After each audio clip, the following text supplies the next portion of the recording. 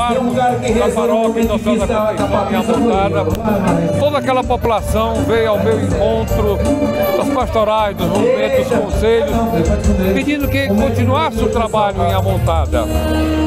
E aí então nós ouvindo essas pessoas, fazendo esse apelo, também ouvindo outras pessoas, olhando toda uma conjuntura também em Itapajé, então nós tivemos essa decisão de, neste ano 2024, nós assumirmos uma candidatura como futuro prefeito de Itapajé.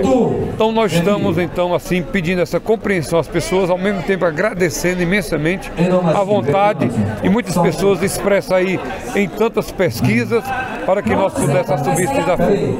Mas depois de um discernimento, também pedindo a Deus todo é, um iluminar, nós então assumimos é, não concorrer nas eleições de 2024 à Prefeitura de Itapajé. E ao mesmo tempo estamos nos unindo né, é, numa força para que juntos nós pudéssemos é, prestar aí o nosso apoio, a nossa solidariedade aí no projeto é, que o Nonato está viabilizando para assumir a prefeitura de Itapajé como pré-candidato.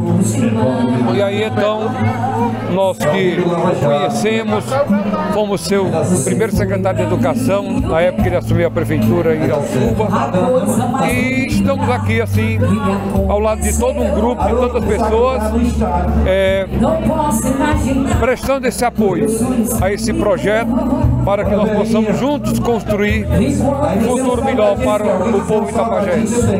Estou aqui é, de uma maneira espontânea.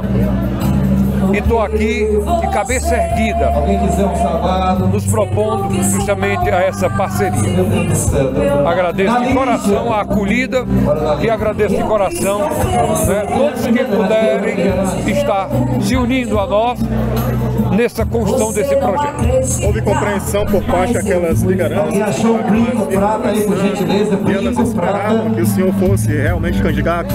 Houve toda uma conjuntura, agradeço Ainda também salgado, alguém quiser. é, algumas lideranças que conversamos no intuito de formatar um projeto, mas no momento a gente viu que não seria viável. Então por isso que a gente é, não avançou na concretização desse projeto numa campanha em Aqui o 2024. brinco, tá aqui o Em, brinco. 2000 em 2026, Padre Marcos poderá também candidatar a deputado, representar o Itapajé e região. O futuro a Deus pertence, né? A gente entrega na mão de Deus